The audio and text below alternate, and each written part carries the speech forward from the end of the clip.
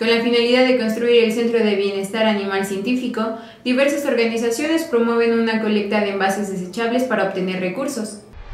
Por segundo año consecutivo se desarrollará en la capital del estado el PET Latón 2014, que tiene como fin colectar latas y botellas de plástico para apoyar la construcción del Centro de Bienestar Animal Científico de Biofutura AC. Biofutura AC solicitó el apoyo de la sociedad en general con la entrega de latas y botellas de plástico con las que se cubrirá el trazado de una flor de lis de 40 metros de diámetro en la Plaza Juárez el próximo sábado 27 de septiembre. Para ello se unirán más de siete organizaciones civiles enfocadas a la protección civil, salud reproductiva y derechos humanos, entre otras, con las que se conformará una feria del ambiente, talleres ecológicos y Expo Scout. El Pedlatón tendrá actividades para toda la familia y se ambientará con música en vivo por parte de bandas de rock. Además, se presentarán actividades de diversos grupos de scouts en parques de la capital hidalguense. Con información de Adriana Ramírez e imágenes de Omar Vargas para Síntesis Hidalgo, Georgina Obregón.